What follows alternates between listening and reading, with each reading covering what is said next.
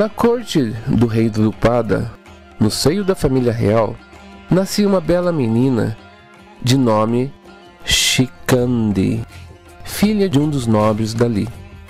Shikandi levava uma infância normal, entre travessuras e brincadeiras, até que um dia em que, sob os olhos de seu pai, encaminhou-se em direção a uma das colunas do palácio e nela tinha uma guirlanda que estava ali há muitos anos.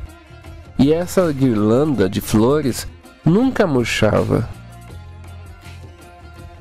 De repente, o sinistro adorno, e qual todos se asseavam sequer tocar, e por isso estava ali há tanto tempo, Shikandi colocou no seu próprio pescoço, alarmando seu pai que repetidamente a repreendeu. A menina, contudo, demonstrando tranquilidade de quem sabe muito bem o que faz, falou como se fala um adulto. Não te aflijas, pai, pois nasci de ti apenas para usar essa guirlanda. Deixa que o destino tome seu rumo. Aquele homem agora sabia que havia em sua filha algo além de sua compreensão. Sicandi atingiu por fim a idade de estudar.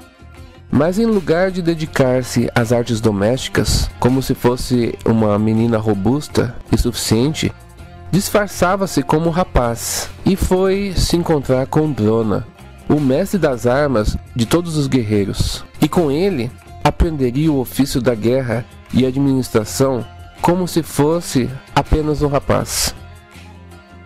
Sicandi praticava muitas austeridades, como na sua vida seu sacrifício era severo e incomum. Por fim, acabou por atrair a atenção de um yaksha que lhe concedeu a mudança definitiva de mulher para homem.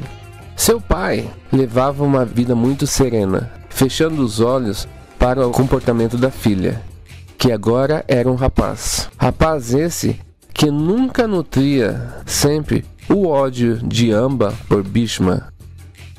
Bhishma era ainda o príncipe regente para o júbilo do povo de Hastinapura.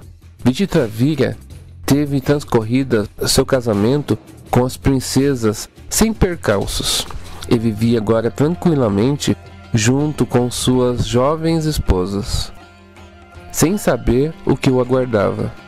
Aconteceu que uma terrível e incurável moléstia o abateu, arrancando implacavelmente a sua vida.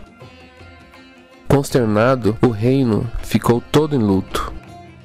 Satyavati, entristecida pela morte de seus dois filhos, lamentando-se pela ausência de um herdeiro para o trono, foi então ter com Bhishma. Agora já não há mais herdeiros para o trono. Estou velha e nem ao menos tenho um esposo. Bhishma ainda não sabia o que estava por vir e suspirou enfadado.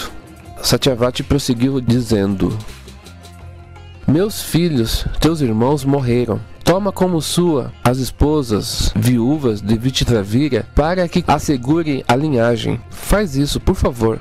Bhishma, contudo, estranhou-se.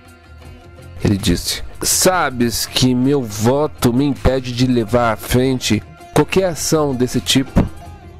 Vacilante, Satyavati respondeu narrar um episódio em que lhe acontecera há muito tempo, antes mesmo do nascimento de Shantanu.